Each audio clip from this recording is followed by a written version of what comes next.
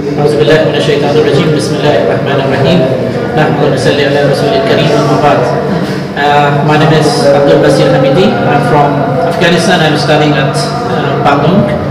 Uh, today we had the opportunity to come to Nurul uh, Ulum, Kota Blitar and uh, visit these students and also have a discussion with one of the members of uh, Nurul Ulum very excited to come here and uh, the students are very smart and uh, they have, we had a great discussion with the students about different issues and uh, I recommend for students if they want to come to Pesantren here in Kota Blitar, Nurul Ulum, uh, I think it will be a good opportunity for, for them to come and study Islamic issues. Uh, thank you so much. Wa alamin.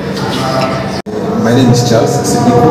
I'm from uh, Kenya in East Africa. And today I happen to come to New Ulum Kota Blitar School. And uh, we have had engaging, an engagement about differences. And I think it's a, it's a pretty beautiful place and the welcoming has been so amazing. So an engagement that I feel everybody can be part of and we really appreciate. And we welcome each and every person to come to school and, and feel the presence of the students and the teachers and this, this is amazing. So we we put it out to the outlets like there if you're feeling these teachers are welcome the school is welcome. So